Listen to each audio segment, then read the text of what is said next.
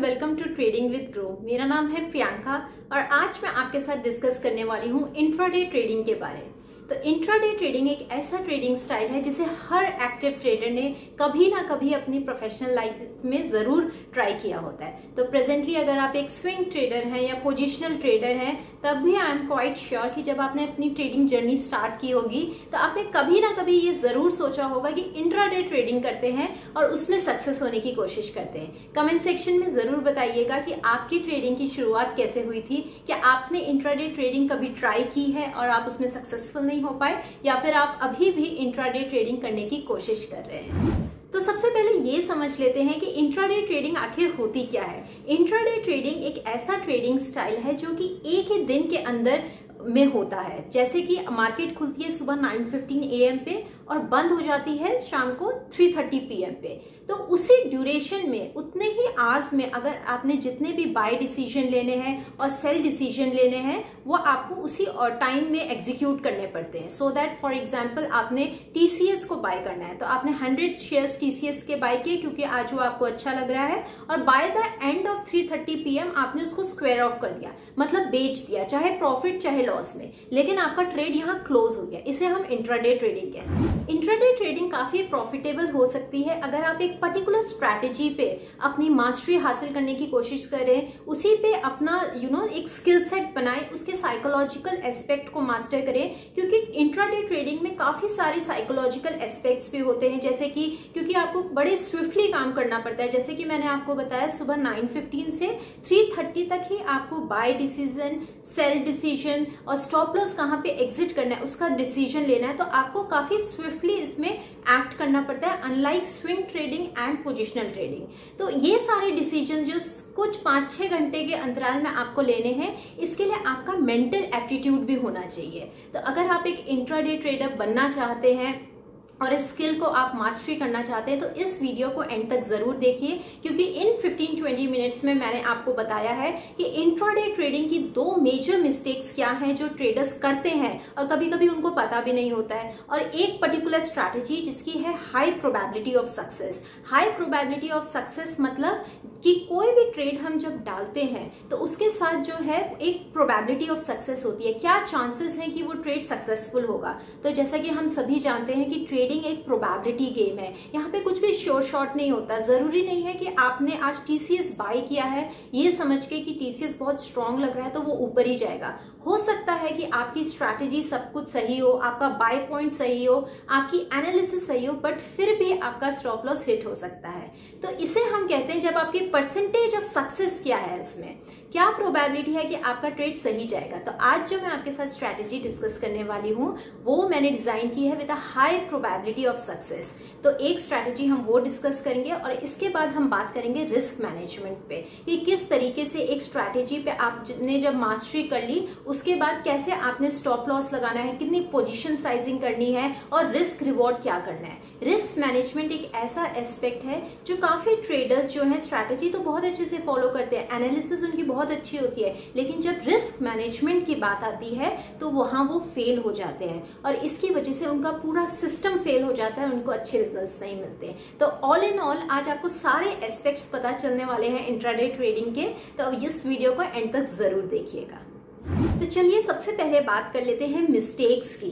वो कौन से दो मेजर मिस्टेक्स हैं जो ज़्यादातर ट्रेडर्स करते हैं कभी कभी इनिशियल स्टेजेस में करते हैं कभी हो सकता है आप अभी भी कर रहे हैं। तो सबसे पहली मिस्टेक है कि आप जो ट्रेड्स है ना, वो सवानों के बाद ढूंढते हैं। इसका मतलब क्या हुआ? इसका मतलब ये है कि जो भी आपने ट्रेड लेने हैं फॉर एग्ज़ाम्पल आज ट्वेंटी फिफ्थ ऑफ़ जुलाई है तो ट्वेंटी सिक्स ऑफ़ जुलाई को जो भी आपने ट्रेडिंग करनी है इंटरडे ट्रेडिंग करनी है, उसकी जानकारी आपको ट्वेंटी फिफ्थ की शाम तक होनी चाहिए। मतलब ट्वेंटी फिफ्थ की शाम को आपको पता होना चाहिए कि कल मैं कौन से स्टॉक्स में ट्रेड करने वाला वाला हूँ या वाली हूँ और कौन सी स्ट्रैटेजी मैं उसको लगाऊँगी, कहाँ पे उसका एंट्री लेवल होगा, क्या टारगेट होगा, क्या मैं रिस्क रिवॉर्ड मेंटेन करने वाली हूँ और क्या मेरी पोजीशन साइजिंग रहेगी। ज़्यादातर लोग जो है अपनी प्रिपरेशन नहीं करते। जिसे हम कहते हैं ना, एक चाइनीज़ मिलिट्री में एक बड़ी फ़ेमस प्रोवर्ब है, जिसमें कहा जाता है every battle is won before it is fought यानी कि कोई भी युद्ध को कैसे जीता जाता है उसकी प्रिपरेशन से जीता जाता है प्लानिंग एंड स्ट्रैटेजी से जीता जाता है।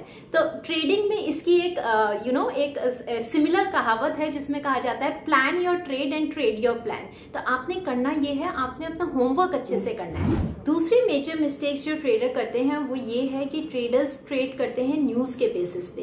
तो न्यूज़ के बेसिस पे आपको कभी ट्रेड नहीं करना है। हम कहते हैं कि जब भी आपने ट्रेडिंग करनी है आपके पास कोई पर्टिकुलर स्ट्रैटेजी होनी चाहिए। तो स्ट्रैटेजी क्या है? स्ट्रैटेजी एक सेटअप है टेक्निकल सेटअप होता है जो आपको बताता है कहाँ एंट्री होनी चाहिए, कहाँ एग्जिट होना चाहिए, कहाँ स्टॉप लॉस होना चाहिए। तो जब हम न्यूज़ बेस्ड ट्रेडिंग करते हैं it is not a plan setup ये कोई सेटअप नहीं है। न्यूज़ बेस्ड ट्रेडिंग में क्या होता है? फॉर एग्ज़ाम्पल मैं आपको बताती हूँ, जैसे टीसीएस ने आज शाम पाँच बजे अपनी क्वार्टरली अर्निंग्स दी और रिज़ल्ट बहुत अच्छे आए। अब एज आप as a newbie trader क्या सोचेंगे? क्योंकि रिजल्ट्स बहुत अच्छे आए हैं और टीसीएस जो है वैसे भी फंडामेंटली साउंड कंपनी है। तो कल सुबह मैं इसको खरीदता हूँ क्योंकि हो सकता है यहाँ से स्टॉक चार पाँच परसेंट ऊपर जाए, क्योंकि रिजल्ट्स आर स्पेक्टेकुलर पर आप क्या देखते हैं, जब सवा नौ बजे मार्केट खुलती है स्टॉक गैप अप ओपनिंग देता है एक स्ट्रॉन्ग ओपनिंग देता है, एक परसेंट ऊपर खुला एक परसेंट ऊपर खुला, आपने सोचा बहुत सारे बायर्स हैं डिमांड बहुत ज़्यादा होगी स्टॉक में, आप भी स्टॉक को बाय कर लेते हैं। लेकिन जब थ्री थर्टी होता है या दो बजे तक आप देखते हैं कि स्टॉक वहाँ से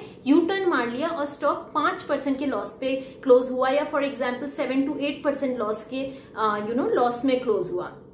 आप मुझे कमेंट सेक्शन में ये भी बताइए कि कितने लोगों के साथ ये सिनेरियो हो चुका है कि उन्होंने गुड न्यूज़ के बेसिस पे किसी स्टॉक को बाय किया हो, लेकिन जब मार्केट क्लोज हुई हो या ड्यूरिंग द डे उन्होंने देखा कि रिज़ल्ट जो स्टॉक की मूवमेंट थी वो बिल्कुल ऑपोजिट डायरेक्शन में थी। कई बार इसका उल्टा भी होता है। फॉर एग्ज़ाम्पल किसी स्टॉक ने, किसी कंपनी ने बहुत खराब रिज़ल्ट दिए। फॉर एग्ज़ाम्पल टाटा मोटर्स ने बहुत ज़्यादा क्वार्टरली लॉस दिखाया। लेकिन हुआ क्या? स्टॉक गैप डाउन ओपनिंग के साथ खुला। मतलब वीक ओपनिंग है अब आपने सोचा क्योंकि रिजल्ट्स तो बहुत बुरे हैं और गैप डाउन ओपनिंग हुई है तो मैं इसको आज बेच के जाऊँगी। जब आपने उसको बेचा तो आपने देखा स्टॉक गंदे रिजल्ट्स होने के बावजूद स्टॉक चार परसेंट ऊपर क्लोज हुआ है। तो ये सबसे ज़्यादा डिसएडवांटेज होता है जब आप न्यूज़ बेस्ड ट्रेडिंग करते हैं, क्योंकि आपको पता नहीं होता है कि कौन सी न्यूज़ कितनी फ्रेश है और कैसे उसको you know market participates participants जो है, कैसे उस पर रिएक्ट करेंगे। कई बार क्या होता है कि जो न्यूज़ हमें आज सुनने को मिल रही है ट्वेंटी ऑफ़ जुलाई को, वो एक्चुअली न्यूज़ बहुत स्टेल होती है ऑलरेडी बहुत सारे इंसाइडर्स ऑपरेटर्स इन न्यूज़ को पहले से जानते हैं और उस बेसिस पे बाइंग एंड सेलिंग हो चुकी होती है। तो जब आप उस स्टॉक को बाय कर रहे होते हैं तो वो जो स्मार्ट इन्वेस्टर्स हैं या स्मार्ट ट्रेडर्स हैं, जिन्होंने पहले से स्टॉक को बाय करके रखा है, वो उस समय वहाँ उसको बेच रहे होते हैं। तो कभी भी इसलिए हम कहते हैं कि आपको न्यूज़ बेस्ड ट्रेडिंग नहीं करनी है। आपने स्ट्रैटेजी पे काम करना है सेटअप पे काम करना है। तो ये दो मेजर मिस्टेक्स हैं जो काफ़ी ट्रेडर्स अगर न्यू भी हैं, वो भी करते हैं। कुछ एक्सपीरियंस ट्रेडर्स भी इन मिस्टेक्स को रिपीटेडली करते हैं। तो सबसे पहले तो अगर आपको इंट्राडे ट्रेडिंग के रिज़ल्ट सुधारने हैं तो इन दो मिस्टेक्स को करना छोड़ दीजिए। चलिए, मैं शेयर करती हूँ आपके साथ अपनी स्ट्रैटेजी जो कि है बाय ओनली स्ट्रैटेजी तो ध्यान से सुनिएगा कि इस स्ट्रैटेजी में हम किस तरीके से एक हायर प्रोबेबिलिटी ऑफ़ सक्सेस में अपने अपने आप को रख चलिए अब स्ट्रैटेजी पे आते हैं। तो जैसे कि मैंने आपको बताया, ये एक बाय ओनली स्ट्रैटेजी है। तो जितने भी हमारे यहाँ डिसीज़न होंगे, जो हम ट्रेड लेंगे, वो बाय साइड ट्रेड्स होंगे। तो ऑब्जेक्टिव क्या है स्ट्रैटेजी का? हम क्या करना चाह रहे हैं यहाँ पे? हम ऐसे स्टॉक्स को पकड़ना चाह रहे हैं, जिनमें ऑलरेडी एक गुड डेली मोमेंटम एग्जिस्ट करता है। और अगर हम उनको इंट्राडे के लिए लेते हैं या ट्रेड करते हैं तो उसमें एक हायर प्रोबेबिलिटी है कि इंट्राडे में वो हमें अच्छे गेन्स दे। तो ये बेसिक ऑब्जेक्टिव है जो हम इस स्ट्रैटेजी में जो भी हम टूल्स यूज़ कर रहे हैं जो भी हम technical you know indicators use करेंगे, वो इसके साथ अलाइन है। तो जब भी हम किसी स्ट्रैटेजी की बात करते हैं बेसिकली थ्री पिलर्स होते हैं सक्सेसफुल इम्प्लीमेंटेशन के लिए। एक होता है कि आपकी एंट्री स्ट्रैटेजी राइट होनी चाहिए एग्जिट स्ट्रैटेजी राइट होनी चाहिए, और साथ में आपका रिस्क मैनेजमेंट भी इन प्लेस होना चाहिए। अच्छा इसमें एक मेन बात इस स्ट्रैटेजी की ये है कि यहाँ पे जो हमारी एनालिसिस हो रही है ना वो एक दिन पहले हो रही है और डेली टाइम फ्रेम में हम अपनी एनालिसिस को कर रहे हैं। जो एग्जीक्यूशन रहेगा, वो फाइव मिनट में रहेगा। इसमें अभी आप कंफ्यूज मत होना, मैं आगे आपको ये पूरा क्लियर करूँगी कि कैसे आपने एनालिसिस करनी है और कैसे हम इसमें एंट्री एग्जिट करेंगे। तो सबसे पहले क्राइटेरिया पे देख लेते हैं कि जो हमारा क्लोजिंग प्राइस होगा डेली टाइम फ्रेम में जो हमारा क्लोजिंग प्राइस होगा and high of the day होगा that should be less than one percent ठीक है? इसे एक एग्ज़ाम्पल से समझते हैं। फॉर एग्ज़ाम्पल ये ट्वेंटी जुलाई की कैंडल डेली कैंडल बनी है आईटीसी में, ठीक है? इसका क्लोजिंग प्राइस कितना है?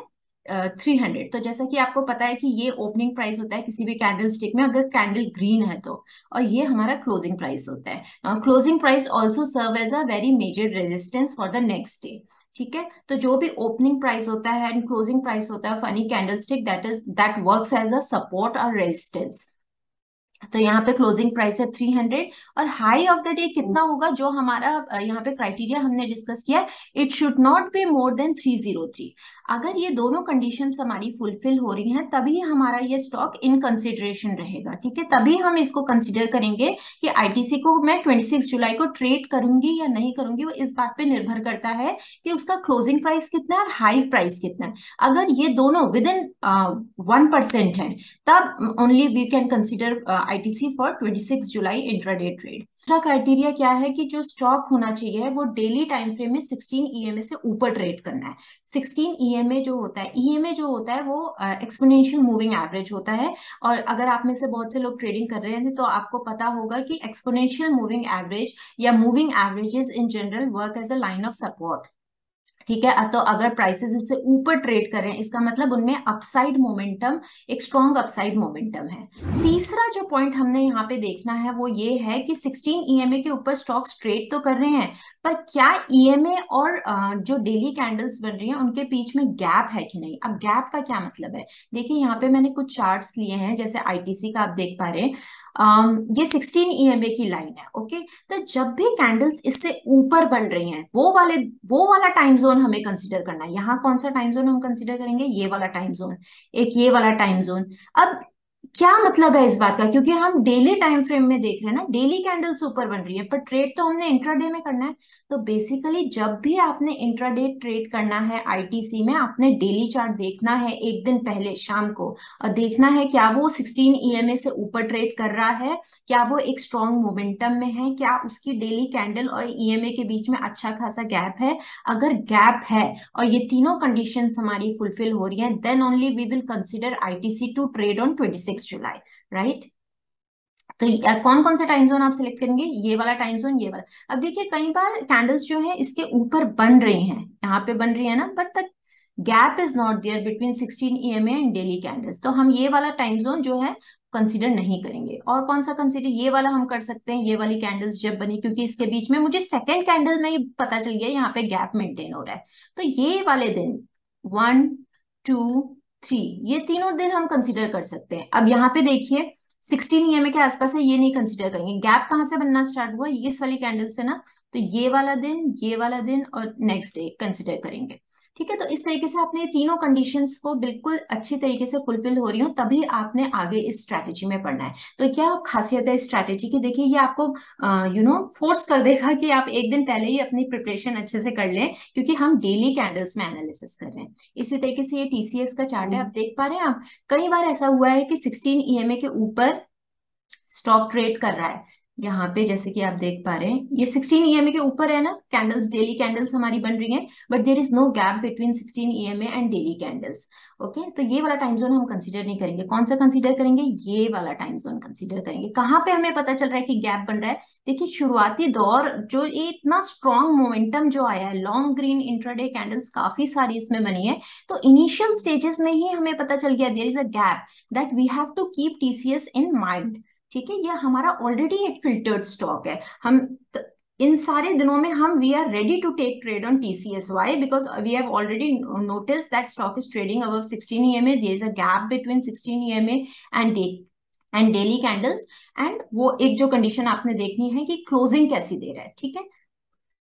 तो देखिए स्ट्रैटेजी में आप समझ पा रहे हैं सब्जेक्टिवली मैं आपसे क्या यहाँ पे हम स्ट्रैटेजी में करना चाह रहे हैं। हम डेली सेंटिमेंट्स को एनालाइज करके we are aligning ourselves to the sessions to the stocks to the counters that that have a higher probability of giving a short term momentum and obviously जब किसी स्टॉक में short term momentum आता है तो वो continue रहता है। ऐसे हम देखा ना, कुछ दिन ग्रीन में चलते रहते हैं, फिर कुछ दिन रेड में चलते हैं, फिर कुछ दिन ग्रीन में चलते हैं। ठीक है? तो बेसिकली अगर हम इन दिनों में अपने आप को पॉइस पोजिशन कर दे तो हमारी सक्सेस की प्रोबेबिलिटी बढ़ जाएगी इंट्राडे में भी राइट अब जैसे टाटा स्टील है। टाटा स्टील में मुझे कोई खास बाई साइड मोमेंटम यहाँ पे दिख नहीं रहा है। देखिए, यहाँ 16 ईएमए से के आसपास लाइन तो बन रही है but there is no gap between the daily candles and the 16 EMA तो we are not going to consider Tata steel देखो, यहाँ पे सारी जो कैंडल्स बन रही हैं, वो 16 ईएमए के नीचे गैप है, लेकिन हमें तो बाई साइड है ना ये ट्रेड तो हमने बाई साइड में कैंडल्स अब जो यहाँ पे कैंडल बनना स्टार्ट हुई, यहाँ पे गैप बनना स्टार्ट हो गया है,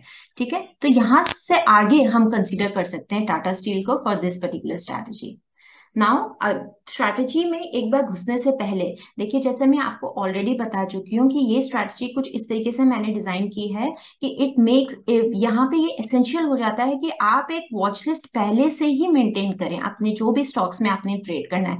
पिछले तीन क्राइटेरिया को फुलफिल करते हुए, ये क्योंकि हम डेली टाइम फ्रेम इसमें कंसिडर कर रहे हैं ना तो आपको एक दिन पहले देखना ही पड़ेगा कि आपकी वॉच लिस्ट में कौन कौन से स्टॉक्स आए हैं, ठीक है? तो ज़्यादातर अगर आप एक रिटेल ट्रेडर हैं अकेले ट्रेड करते हैं तो दो से पाँच स्टॉक्स आप एक दिन के लिए ले सकते हैं। इससे ज़्यादा लेंगे तो you will not be able to keep a track on different stocks so it becomes very hard ठीक है? तो आप दो से पाँच स्टॉक्स को अपनी वॉच लिस्ट में रख सकते हैं ड्यूरिंग द डे अब इस स्ट्रैटेजी के आते हैं हम मेन कंपोनेंट्स में। हम एंट्री कैसे लेंगे? Once we have watchlist of stocks ठीक है? मेरे पास लेट्स से मेरे पास दो स्टॉक है आईटीसी एंड टीसीएस ये मैंने ट्वेंटी फिफ्थ जुलाई को देखा कि इनकी बहुत स्ट्रॉन्ग क्लोजिंग थी सिक्सटीन ईएमए के ऊपर थे, इनमें गैप भी अच्छा खासा बन रहा है। तो it the stocks are already having a very good short term momentum और यहाँ से आगे मैं इन्हें इंट्राडे के लिए ट्रेड कर सकती हूँ तो सबसे पहले हमने क्या करना है?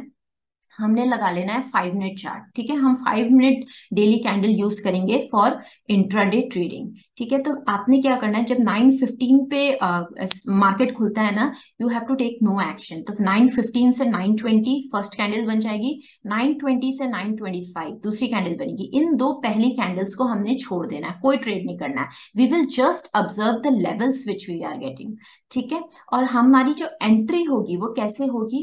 जो प्रीवियस क्लोजिंग होगी ना, जैसे एक दिन पहले की, ये ट्वेंटी फिफ्थ जुलाई की कैंडल है। लेट्स से ठीक है, इसने हंड्रेड पे क्लोजिंग दी है। और ये जो ऊपर की साइड इसका हाई बना था ना, वो हंड्रेड पॉइंट फाइव का है well within one percent अब एंट्री कैसे लूँगी मैं? नेक्स्ट डे जब स्टॉक खुला ना तो वो 98 पे खुलता है। लेट्स से वो यहाँ पे खुला 98 में ये 98 का लेवल है। ठीक है 98 से 98.5 गया वो सवा नौ से नौ बीस पे, नौ बीस से नौ पच्चीस पे वो 99 तक गया। और उसके बाद थर्ड जो उसकी कैंडल बनी कंसोलिडेट किया और फोर्थ कैंडल में उसने एक ब्रेकआउट दे दिया हंड्रेड से ऊपर। अब जब भी वो क्लोजिंग है हंड्रेड क्या है? मेरी प्रीवियस डे की क्लोजिंग है, ये मैंने लिख रखा है पहले से, मुझे पता है ये रेजिस्टेंस है। तो जब भी स्टॉक के हंड्रेड की क्लोजिंग के ऊपर जाएगा, मैं अपना बाय ऑर्डर डाल दूँगी सिस्टम में। तो हंड्रेड पॉइंट टू ज़ीरो और हंड्रेड पॉइंट फोर ज़ीरो पे जब जाएगा तो आपने बाय स्टॉप ऑर्डर लगा के रखना है, ठीक है? यहाँ पे हमारी क्लोजिंग सॉरी यहाँ पे हमारी एंट्री हो जाएगी स्टॉक में। अब देखिए, यहाँ पे मैंने बात की कि स्टॉक जो है, वो हंड्रेड पे क्लोज हुआ था नाइनटी एट पे खुला। तो जब भी there is a gap between the previous closing and the opening of today's opening तो हम क्या कहते हैं it is a gap down opening नीचे की तरफ़ ओपनिंग हो रही है, हमारी क्लोजिंग कहाँ हुई थी? हंड्रेड पे हुई थी और ओपनिंग कहाँ हो रही है? नेक्स्ट डे की ninety eight gap down opening है। तो ये आइडियल सिनेरियो है इस स्ट्रैटेजी में काम करने के लिए कि आपके नीचे की तरफ़ ओपनिंग हो रही है। फ़र्स्ट टू कैंडल्स में, जिसमें हमने ट्रेड नहीं करना है तो वो हंड्रेड से नीचे ही बनती रही। और थर्ड या फोर्थ कैंडल में जब हमारा टाइम अप्रोप्रिएट था, अपनी स्ट्रैटेजी के हमारे रूल्स क्या है कि हंड्रेड से ऊपर हमने ट्रेड डालना first we have to leave first two five minute candle उसके बाद इसने ब्रेकआउट दिया। लेकिन अगर कभी ऐसा हो कि स्टॉक खुले ही हंड्रेड के ऊपर इन दैट केस आप क्या करेंगे? ठीक है, या फिर स्टॉक जो है, बिल्कुल सेम लेवल पे खुले हंड्रेड के लेवल पे खुले और फ़र्स्ट कैंडल में ये ब्रेकआउट देते वन ज़ीरो वन पे चले जाए। इन दैट केस आप क्या क्या करेंगे? तो हमें ये चीज़ पे भी ध्यान देना रहेगा क्योंकि ऐसा ज़रूरी नहीं है कि जो हमारे स्ट्रैटेजी के रोल्स हैं, बिल्कुल उस अकॉर्डिंग ये मार्केट खुले। अब देखिए, सबसे पहला जो हमारा सिनेरियो बन सकता है, वो ये बन सकता है कि क्लोजिंग जो हमारी हुई है ना स्टॉक की हंड्रेड पे, उससे ऊपर स्टॉक खुल रहा है। तो मेरे बाय स्टॉप ऑर्डर मुझे कहाँ डालना था? Hundred point two zero hundred से ऊपर डालना था it can be hundred point one zero और हंड्रेड पॉइंट पर वो लेवल मुझे मिला ही नहीं। मैंने देखा स्टॉक ऑलरेडी वन परसेंट ऊपर खुल रहा है। Now what I have to do as a trader क्या करना है? हमारे रूल सेम ही रहेंगे। आपने पहली दो फाइव मिनट्स कैंडल को टच नहीं करना है, ठीक है? तो पहली कैंडल बनने दीजिए। Let it go any so अगर ये 101.20 पे खुलता है और 101.50 पे क्लोज हो जाता है let's say first five minute candle जो दूसरी कैंडल मेरी बनी, वो 10 लेट्स से 102 पे उसकी क्लोजिंग होती है। अब आपने क्या करना है, ये पहली दो कैंडल को तो वैसे भी आप टच नहीं करेंगे, ये हमारा रूल है इनका हाई आपको नोटिस करना है। What is the high of the first two candles अब ये मेरा बाइंग लेवल बन जाएगा। इसके ऊपर मेरा बाइंग लेवल बेसिकली जो मेरा पहले बाइंग लेवल 100.20 था, वो अब 102.20 हो गया। ठीक है? हाई क्या बनाया? दो कैंडल्स ने 102 इसके जस्ट ऊपर हम बाइंग करेंगे। ठीक है? तो इस तरीके से आपने एंट्री लेनी है अगर गैप अप ओपनिंग होगी तो। अगर गैप डाउन ओपनिंग हो जाती है ठीक है? अच्छा गैप अप ओपनिंग में कई बार ऐसा होता है ना, ये सिनेरियो हमने डिस्कस किया है, ठीक है? यहाँ पे क्लोजिंग आई मेरी हंड्रेड पे प्रीवियस डे की क्लोजिंग है ये थ्री थर्टी पीएम की कैंडल है बिकॉज़ जो क्लोजिंग होगी ना ऑब्वियसली आपकी लास्ट फाइव मिनट की कैंडल ही डिक्टेट करती है राइट right? तो हम हाई तो कंसिडर नहीं कर रहे, इसलिए मैंने यहाँ पे फाइव मिनट चार्ट लिया it will tell you at what price the stock has close the previous day right तो हंड्रेड से ऊपर था, पर मैं यहाँ पकड़ नहीं पाई क्योंकि ये दोनों मेरा मेरी स्ट्रेटेजी कहती है कि फ़र्स्ट टू कैंडल्स को आपने स्किप करना है। ये दोनों कैंडल्स हमने स्किप कर दी नाउ थर्ड कैंडल मेरी कैसे बनी? नीचे की साइड खुला स्टॉक और ऊपर चलता चला गया। जब इसने यहाँ पे ब्रेकआउट दिया ना इस लेवल पे हंड्रेड लेट से ये 102 का हाई बनाया था फ़र्स्ट टू कैंडल था इसके ऊपर मैंने बाय ऑर्डर दे दिया। अब दूसरी सिचुएशन भी होती है गैप अप ओपनिंग में। देखिए, ऐसे भी तो हो सकता है ना कि आपका स्टॉक ने गैप अप तो दिया 101 पे खुला ऊपर तक गया 102 का यहाँ पे हाई इसने बना दिया। लेकिन अब मैंने क्या किया, जब मैंने देखा फ़र्स्ट टू कैंडल का हाई 102 है, और मैंने अपना क्या है, फटाफट से बाय ऑर्डर जो है शिफ्ट कर दिया 102.10 पे। इस हाई फ़र्स्ट टू कैंडल्स का जो हाई है, उसके ऊपर हमने बाय करना है तो मैंने शिफ्ट कर दिया। Now I am waiting for the breakout to happen from third candle यहाँ से मैं वेट कर रही हूँ। पर हुआ क्या? स्टॉक एग्जैक्टली 102 पे खुला, नीचे की तरफ़ गया और नीचे गया। 100 से भी नीचे चला गया और फिर ये ऊपर जाने लगा। अब क्या है? जो मेरा पहला बाय पॉइंट था, वो एक बार टच हो गया है। मेरे पास एक मौका है कि मैं इस लेवल पे फिर स्टॉक में एंट्री ले सकती हूँ। तो हमने करना क्या है? जब आपकी स्टॉक नीचे की तरफ़ आ रहा है, जब तक स्टॉक नीचे की तरफ़ आ रहा है, तब अपने एंट्री नहीं लेनी है चाहे ये 97 चले जाए 96 चले जाए, कहीं भी चले जाए आपने एंट्री नहीं लेनी। जब ये दोबारा यहाँ से यू टर्न ले ले, ऊपर के साइड ग्रीन कैंडल्स बनने लगे और हंड्रेड से ऊपर दोबारा स्टॉक चले जाए, तब आपने यहाँ पे एंट्री लेनी है। ठीक है? I hope this is clear क्योंकि देखिए, हम बात तो कर लेते हैं स्ट्रेटेजी की, लेकिन depending on the stock movement during intraday it can sometimes it can be very confusing because the stock can open at various levels and it can behave very you know differently every time तो you have to be very very clear कि आपने किस level पे क्या क्या scenarios बन सकते हैं और किस लेवल पे आपने कैसे बिहेव करना है, ठीक है?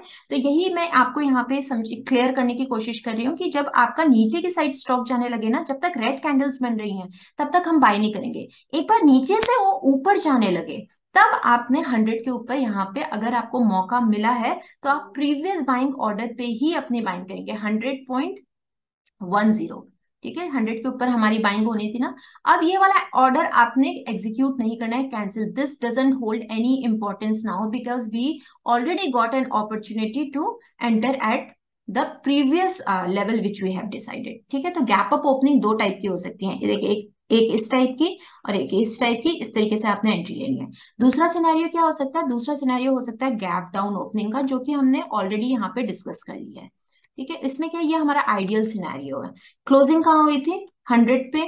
स्टॉक खुला ही 98 पे। ठीक है? अब ये कैसे भी बिहेव करे 98 से 95 जाए दैट इज़ फाइन जब ये ऊपर जाने लगेगा ना यहाँ से और दोबारा 100 के लेवल को क्रॉस कर देगा तो हमारा बाइंग पॉइंट यही रहेगा। 100.10 अब कुछ लोग यहाँ पे सोच सकते हैं कि जब स्टॉक इतना नीचे गया था 95 तक तो मैंने 95 पे क्यों नहीं बाय किया? मैं इतने ऊपर क्यों बाय कर रहा हूँ? क्योंकि देखिए, जैसा कि मैंने आपको बता दिया है कि जो कैंडल स्टिक के जो क्लोजिंग प्राइस है या ओपनिंग प्राइस है, ये सपोर्ट एंड रेजिस्टेंस की तरह काम करते हैं, ठीक है? और टेक्निकल एनालिसिस में जब भी हमको बाइंग करनी होती है, हम एक मेजर रेजिस्टेंस के ऊपर बाय करते हैं क्योंकि उसके ऊपर डिमांड बहुत ज़्यादा एक्सिलेट हो जाती है राइट तो that is why we are still you know waiting for our resistance to be broken on upside उसी के ऊपर हम बाइंग करेंगे। ठीक है? अगर सेम लेवल पे स्टॉक खुलता है, तीसरा सिनेरियो क्या है? हंड्रेड पे क्लोजिंग दी थी।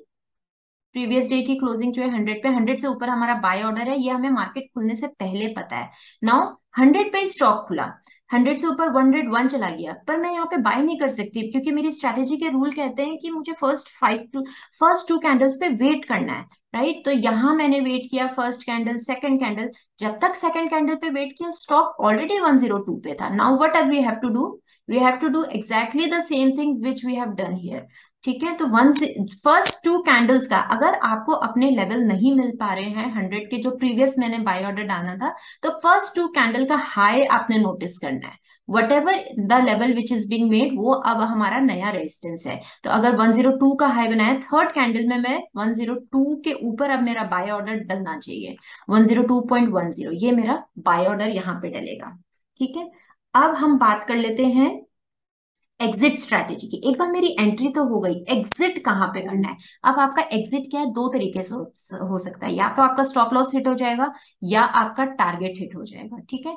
तो स्टॉप लॉस आपने कहाँ पे लगाना है? किसी भी लेवल पे आप एंट्री लो इट डजेंट मैटर चाहे आप प्रीवियस क्लोजिंग के ऊपर अगर आपको लेवल्स मिल रहे हैं हंड्रेड या फिर first two five minutes candle के हाई पे आप यू नो एंट्री लोगे तो इन बोथ द केसेस आपने क्या करना है? जो भी आपका एंट्री पॉइंट है, उससे एक परसेंट नीचे आप अपना स्टॉप लॉस लगा लोगे। ठीक है? तो फॉर एग्ज़ाम्पल आपको मौका मिल गया कि आप 100.20 पे एंट्री लो तो स्टॉप लॉस कहाँ लगाऊँगी मैं? जस्ट वन परसेंट नीचे 99.20 पे। टारगेट क्या रखेंगे? टू परसेंट ऊपर 102.20 ठीक है? तो ये चीज़ हमारी फिक्स रहेगी। आप चाहे आप आ, कोई भी लेवल पे एंट्री ले रहे हो आपने स्टॉप लॉस जस्ट उसके वन परसेंट नीचे लगाना है और टारगेट उसका डबल रहेगा। ओके इसी चलिए इस स्ट्रैटेजी को अब हम समझ लेते हैं एक चार्ट में। ये टीवीएस मोटर का डेली चार्ट है जो मैंने यहाँ पे लगाया हुआ है। अब सबसे पहले हमने देखना है क्या ये स्टॉक 16 ईएमए के ऊपर ट्रेड कर रहा है तो कौन कौन सा टाइम जोन में आपको लग रहा है सिक्सटीन ईएमए के ऊपर है? एक तो ये टाइम जोन हो गया, अब ये वाली कैंडल्स इसके पास है तो क्या इस दिन आप कंसिडर करेंगे? नहीं। ये दिन आप कंसिडर करेंगे? नहीं।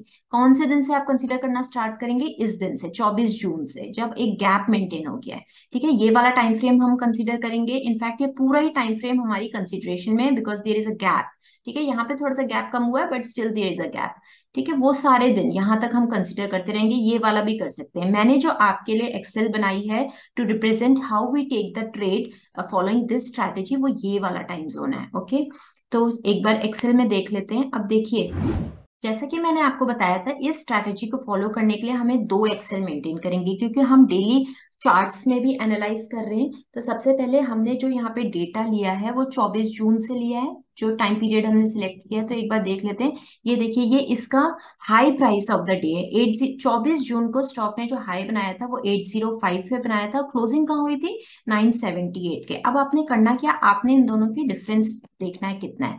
एट ज़ीरो फाइव माइनस कितना है? सिक्स पॉइंट नाइन फाइव तो अगर जो क्लोजिंग प्राइस है उसका वन परसेंट कितना है? ऑलमोस्ट एट पॉइंट्स राइट तो आ, तो यहाँ पे जो हमारा डिफरेंस आ रहा है वो लेस देन वन परसेंट है. तो shall we consider this day yes we will consider this day because the closing price and the high price of the day are well within one percent अब इसका चौबीस के बाद हम सत्ताईस जून का देख लेते हैं।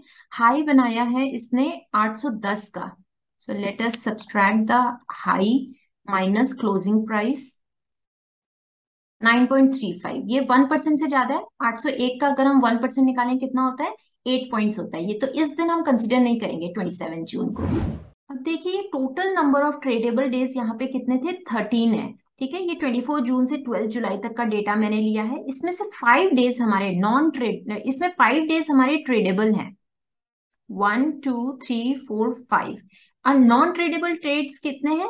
ये सारे दिन हमारे बाकी के जितने भी दिन हैं, हमारे नॉन ट्रेडेबल डेज़ हैं और एक दिन हमारा स्टॉप लॉस हुआ है। तो देखिए, जब हम एनालिसिस इस टाइप से करते हैं, हम एक स्ट्रैटेजी इस टाइप से डिज़ाइन करते हैं कि ऑलरेडी वो हमको लो प्रोबेबिलिटी वाले दिन में से मार्केट में से बाहर रखता है। अब देखिए, चार जुलाई से आठ जुलाई तक की हम कैंडल्स एक बार यहाँ पे देख सकते हैं।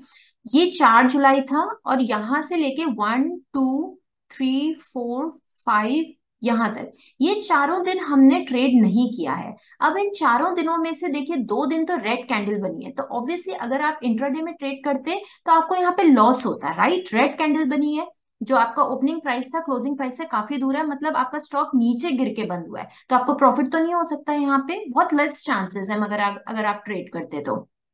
ठीक है? और बाकी दिन, एक दिन यहाँ पे स्पिनिंग टॉप बना है, एक दिन यहाँ पे स्मॉल बॉडी कैंडल बनी है, और यहाँ आठ जुलाई को भी आप देख पा रहे हैं छोटी सी कैंडल बनी है मूवमेंट बहुत कम है।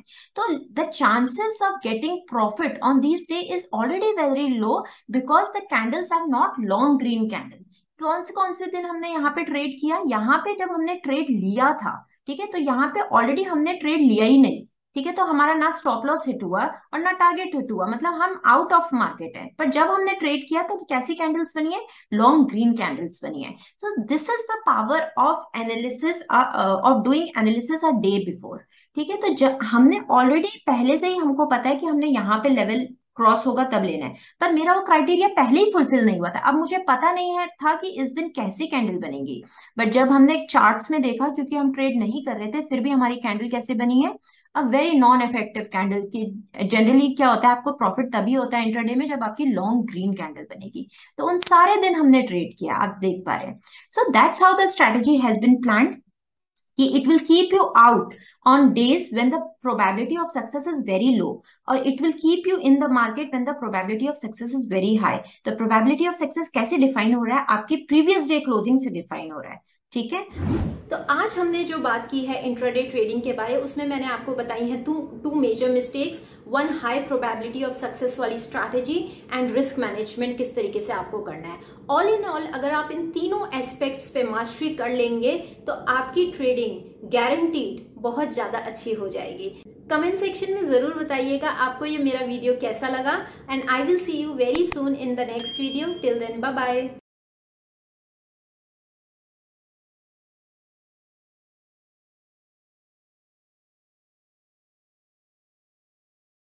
Investment in securities market are subject to market risks. Read all the related documents carefully before investing. Please read the risk disclosure documents carefully before investing in equity shares, derivatives, mutual fund, and or other instruments traded on the stock exchanges.